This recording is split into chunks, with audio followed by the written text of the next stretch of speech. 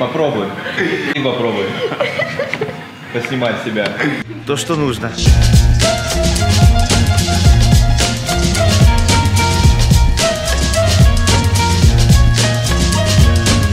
Артем, Да. ты знаешь, как правильно пить эспрессо?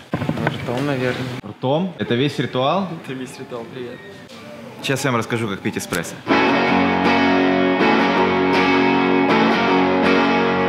На самом деле я тоже неправильно его начал пить. В Италии кофе пьют, не отходя от барной стойки, чтобы почувствовать насыщенный вкус. Ну так я решил показать вам, как его пить, мне пришлось немного подождать. Кофе, как правило, в Италии подают со стаканом воды. Для чего это делается? Вы делаете маленький глоток, чтобы рассмаковать его вкус. Кстати, перед тем, как пить эспрессо, не рекомендуется есть, чтобы полностью было насыщение и прочувствование вкуса во рту. Берет совсем немного эспрессо, э, смакуется во рту, чувствуется его вкус. Кстати, каждый раз он ощущается по-разному. Иногда он может быть немного с горчинкой, иногда послаще, иногда вообще непонятно как. Затем он запивается водой.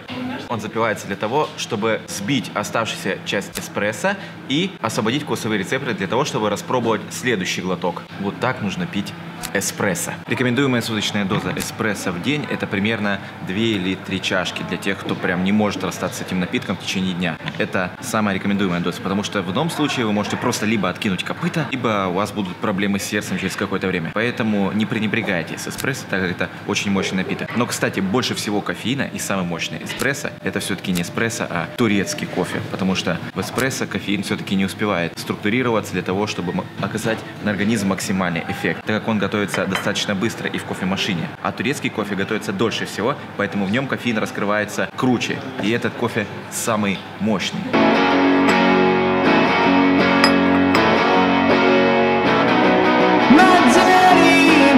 Посмотрите на эту композицию, посмотрите на это дерево, этот массив. Ёк-макарык, блин, как мне это нравится. Здравствуйте. Так, теперь сделаем обзор стула. Мне он очень заинтересовал. Конструкция, кстати говоря, проста. Это просто рейки, которые обработали. Нам надо снять э, видео о том, как обрабатывать так дерево, да? Если согласны, долбаните по пальцу вверх там внизу под видео. А вообще, если обратить внимание, то это простейшая конструкция, которую можно собрать в каком-нибудь Леруа Мерлен.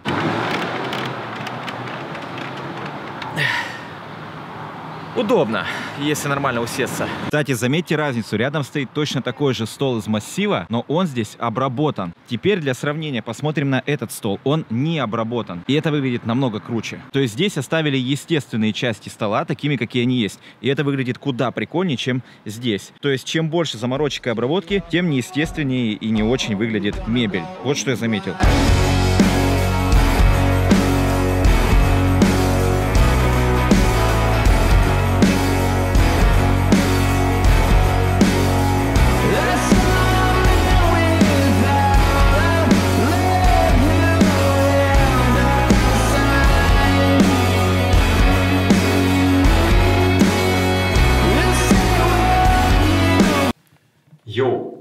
свет в туалете, посмотрите.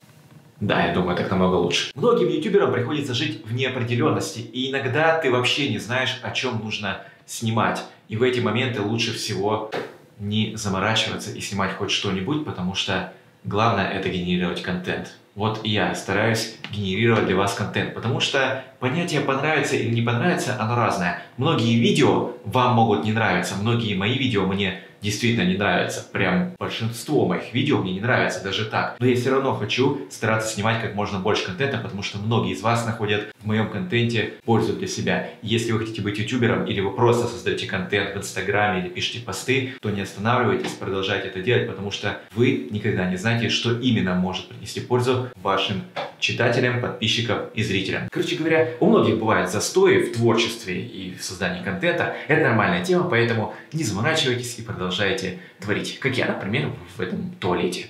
Вот зашел и решил снять видос для вас. Туалет лучшее место для YouTube-блогера, потому что ну, тут тихо и никто не мешает. Правда, слышимость нормальная. Быстрая рубрика «Что в моей сумке?» В этой сумке.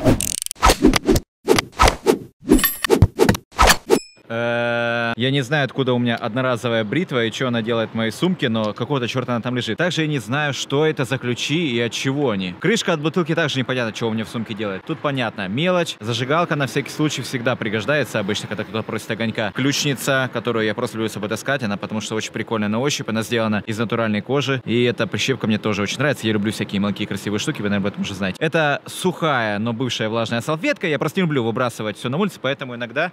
О, черт! Поэтому иногда я кладу все в сумку, чтобы выкинуть где-нибудь по пути мусорку и забывая про это просто-напросто. Тут все понятно, жвачка. Это зарядка, которую всегда с собой ношу, потому что телефон часто разряжается. Ну и, естественно, чехол от наушников. Сами наушники сейчас у меня в ушах. Набор, э, которым я узнал, что у меня есть салфетка, которой 100 лет, и ключ непонятно от какого замка. Удивительные открытия в моей сумке. А что у вас в рюкзаке валяется? Вы к себе заглянули бы? Запинаюсь.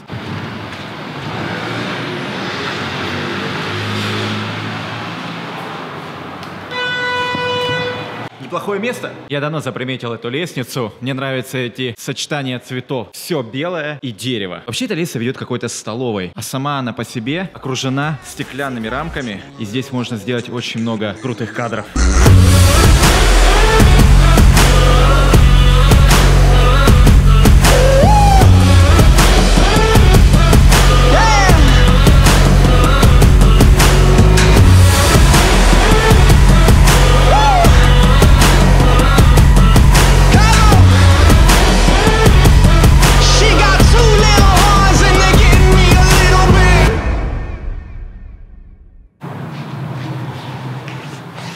Часто бывает такое, что ты не замечаешь крутых мест. Ты думаешь, что это обычное здание, потому что снаружи трудно определить его красоту. И нужно зайти внутрь, чтобы понять, как оно действительно выглядит. И вот я постоянно ходил мимо этого строения, не обращал внимания обычные стеклянные стены, но я понял, там, где стеклянные стены, там внутри очень много солнечного света. И я видел, что внутри находятся только деревянные перила и белые стены. В общем, с уверенностью могу сказать, что это самый прикольный подъезд, который я встречал за последние несколько месяцев. Теперь я хочу поговорить о тех людях, которые думают, что они слишком неинтересны для того, чтобы снимать влоги. Потому что влоги должны снимать, как правило, люди с очень интересной и насыщенной жизнью. Это большое заблуждение. На самом деле, контент, видеоконтент может выглядеть совершенно по-другому, в отличие от каких-либо событий или вещей в реальной жизни. В жизни вы готовите чай и пьете его. Это может выглядеть рутинной, скучной, обыкновенной задачей. В этом действии нет ничего интересного. Но если снять этот процесс на видео от начала и до конца, немного смонтировать и подрезать, то можно превратить это в прикольный контент. Добавляем к этим кадрам полезную информацию о чае, который вы пьете, где вы его берете, сколько он стоит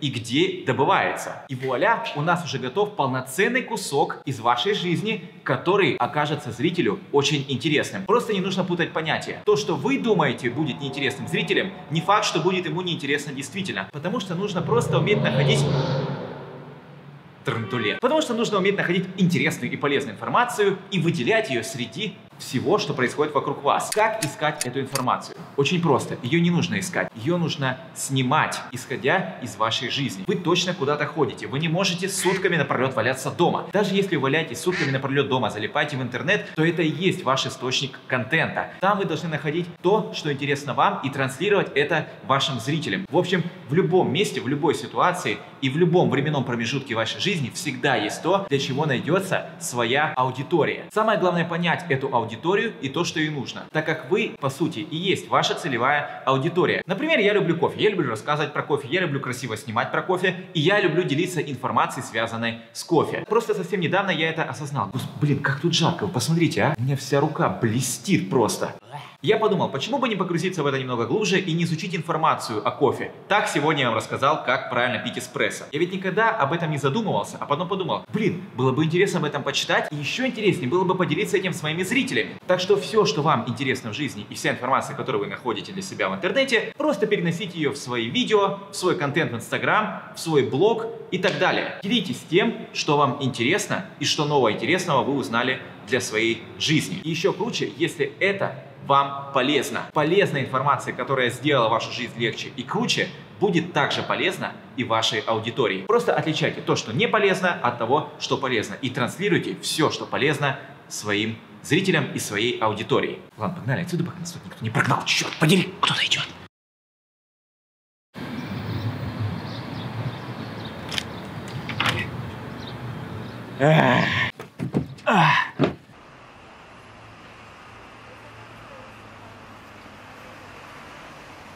Необычные места. Именно на этом я решил сфокусироваться сейчас на YouTube. Показывать самые прикольные места и интересный досуг, который в них можно провести. В детстве я всегда любил строить себе базу, секретную базу. Вы наверняка понимаете, о чем я говорю. Когда я из досок или старых дверей собирал себе домик или пытался сколотить себе огромный дом на дереве или просто вырыть подземный бункер. Много прикольного я пытался сделать, и эта страсть со временем никуда не делась. Также напишите, что вы хотели бы увидеть, чтобы я создал и изготовил на этом канале в плане мебели для интерьера или прикольных штук для декора. Ну и, конечно же, вы напишите, что нужно что-нибудь взорвать, ну и, может быть, что-нибудь и взорвем, почему бы и нет. Так, у меня есть стакан воды. Мне очень хочется сделать вот так.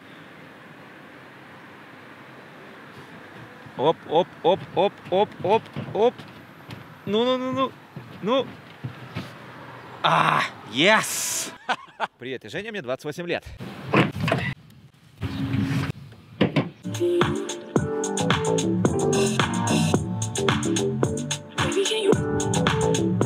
До встречи в следующем выпуске!